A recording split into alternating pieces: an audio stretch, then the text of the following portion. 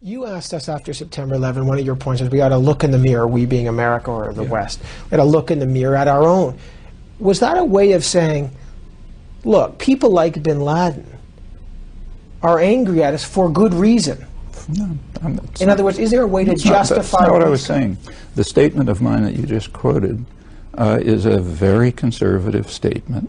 Uh, in fact, it was articulated by George Bush's favorite philosopher, Jesus Christ, uh, who pointed out, famously defined the notion hypocrite. Uh, a hypocrite is a person who focuses on the other fellow's crimes and refuses to look at his own. That's the definition of hypocrite by George Bush's favorite philosopher. When I repeat that, I'm not taking a radical position. I'm even- taking a position if- which is just elementary morality. But even if he is a hypocrite, and they all, even not he, just- everyone. Okay, even Can if- you, let me ask another question. See if just, here's an experiment.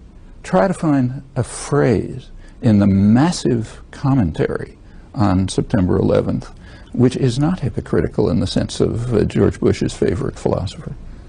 Find one phrase. All right, but before, I don't think you can do it. Okay, but before I, I don't want to get Gnostic here and, and religious on it, but I do want to. This is not religion. This is elementary morality.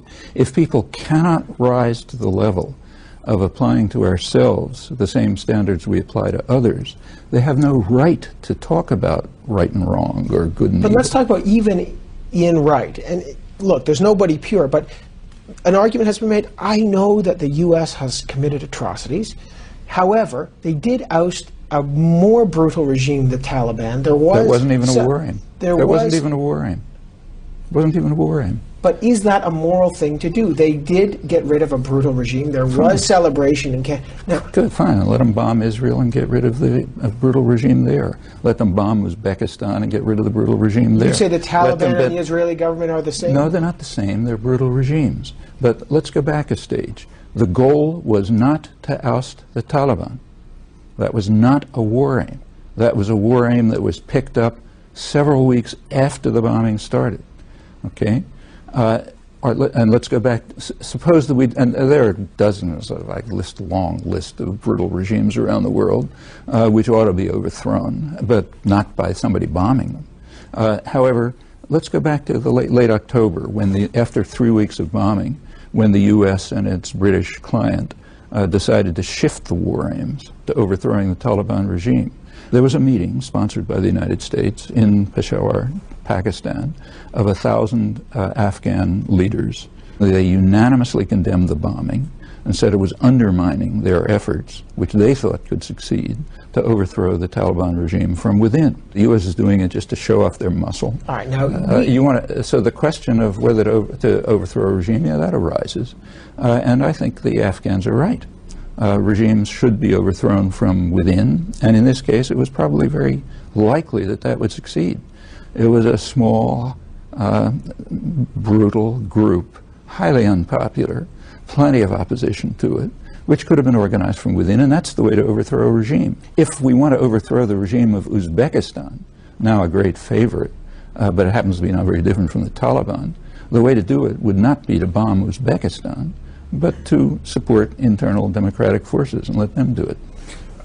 And that, that generalizes around the world. Now, Robert Kaplan, who writes about foreign policy, I spoke to him recently about his book, uh, Warrior Politics, and I, I put some of your points to him. He said about the distinction between the terrorist states you call Israel, you know, America, and, and the terrorist states that America calls the Taliban. He said, I wish Noam Chomsky had been with me in Romania in the 70s or the 80s, just one of the seven or eight Warsaw states with just one of the seven or eight prison systems with 700,000 political prisoners. Adult choice of foreign policy is made on distinctions. The argument that Chomsky makes has no distinctions because there's a difference between the quantity and the kind of dictators that America supported and the quantity and the kind of things we went in in communist world for 44 years. Okay, so let's take his example, Romania, Ceausescu, hideous regime, Yeah. which he forgot to tell you the United States supported. Uh, supported right till the end, as did Britain. So the example that he gave is a perfect example, and it's a small example because we support much more brutal regimes. Uh, Suharto was one of the worst killers of the, and torturers of the late 20th century. The United States and Britain supported him throughout. Uh, he's our kind of guy, as the Clinton administration said in 1995.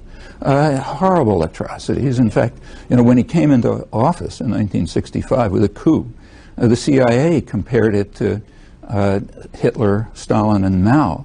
It led to total euphoria in the United States and Britain, massive support when he carried out even worse atrocities, comparable atrocities elsewhere. Uh, the couple of, you know, hundreds of thousands of people killed then, hundreds of thousands later. Full support, continued right through the end of his rule. Uh, in fact, continued past his rule. In late 1999, when they were rampaging and destroying what was left of East Timor, the U.S. and Britain continued to support him. And I can continue through the world like this. Well, I mean, look, Kaplan's, Kaplan says that, it, that there is a distinction. That everyone's got some blood on their hands, but he says, ah, we have significantly less blood because what we are is a soft imperialist, Really? not That's- state terrorist. So, like when we supported his example, Ceausescu in Romania, right to the end, that's good. How about killing several million people in Vietnam? How about killing hundreds of thousands of people in Central America in the 80s, leaving four countries devastated beyond, uh, uh, you know, beyond uh, maybe beyond recovery? Disqualify let's- the US no, from it doesn't. intervening It in any doesn't. other way? Obs- look, nor does it uh, disqualify bin the, the fact that that Bin Laden is a terrorist, or that say uh, the Taliban are a terrorist state.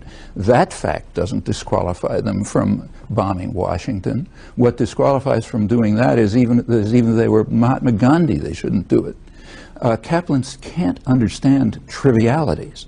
The triviality here is that nobody's nobody except the ultra right wing jingoists like Kaplan is comparing atrocities by various countries.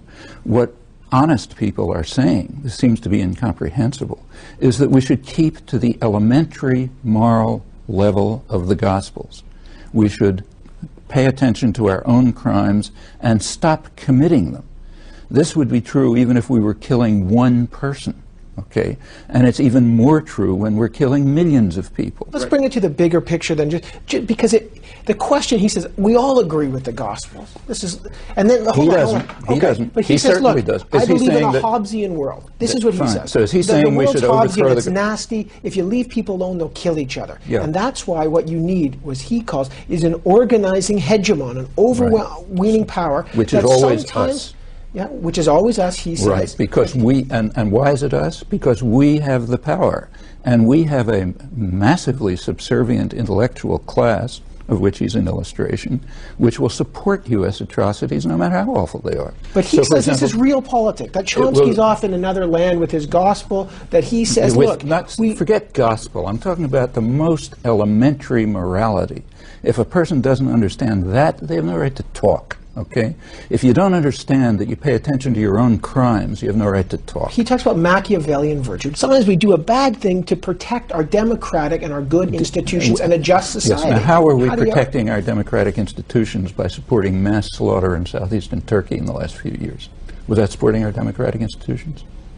was it supporting Our democratic institutions? not ours, but Anybody? Would Kaplan argue that the nation state has a right to use any means necessary to protect its sovereignty? Oh, then, then he's justifying Milosevic. He's saying Milosevic had any had the right to do anything he wanted uh, to repress the Kosovars in Albania. Is that what he's saying? do we need a constabulary, a force, a, a central force? In this case, it's America, America because it's the superpower, to sometimes use unjust means in the service of just causes. What are the just causes? What was the uh, just cause in, for example, slaughtering Kurds in southeastern Turkey? What was the just cause?